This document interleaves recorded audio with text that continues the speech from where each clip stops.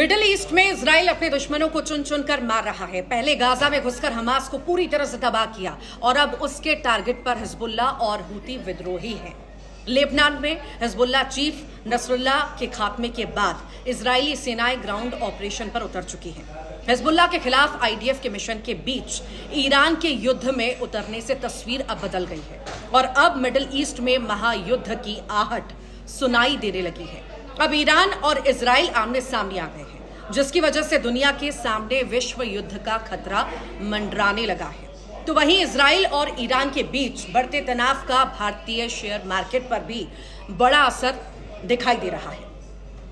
Middle east के तनाव की वजह से भारतीय निवेशकों की साँसें फूल गई हैं। शेयर बाज़ार दो तीन दिनों से धड़ाम हो गया है। अगर ईरान और इसराइल के बीच युद्ध छिड़ा और मिडल ईस्ट में तबाही मची तो भारत को आर्थिक मोर्चे पर कई चुनौतियों का सामना करना पड़ेगा।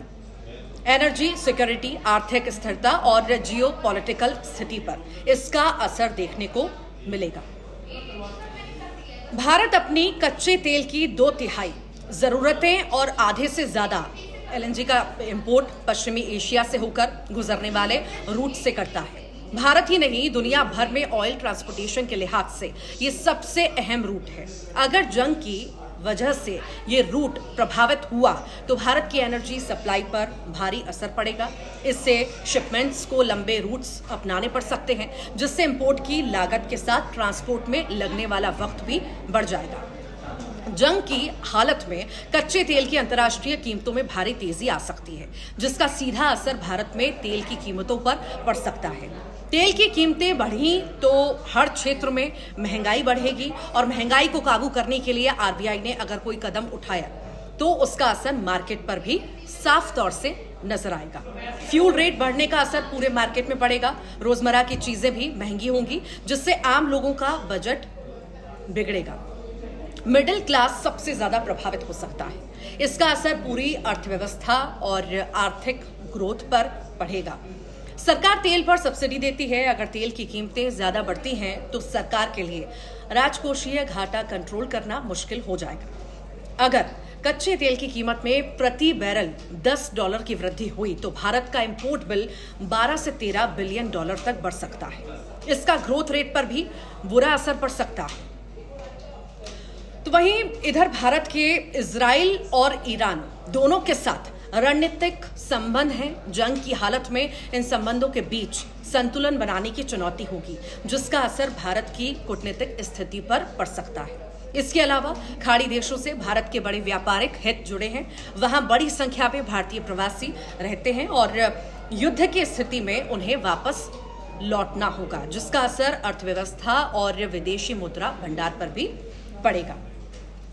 भारत और इसराइल के बीच बहुत अच्छे व्यापारिक संबंध हैं। भारत और इसराइल के बीच द्विपक्षीय व्यापार होता है।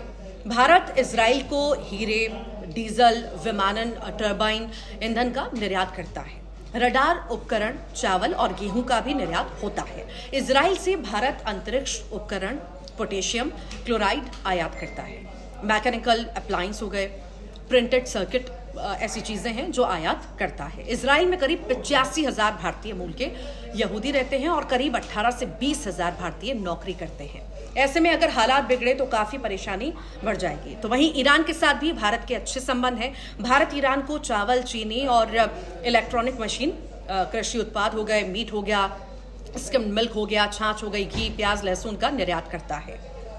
भारत के बासमती चावल का सबसे ज़्यादा अगर हम बात करें तो आयात ईरान में ही होता है। ऐसे में अगर मिडिल ईस्ट में हालात बिगड़े तो ईरान और इसराइल से भारत का व्यापार प्रभावित होगा, जिसका बड़ा असर हमें भारतीय मार्केट, इंडस्ट्री, शेयर बाज़ार और दूसरे सेक्टरों पर पड़ता हुआ दिखाई देगा।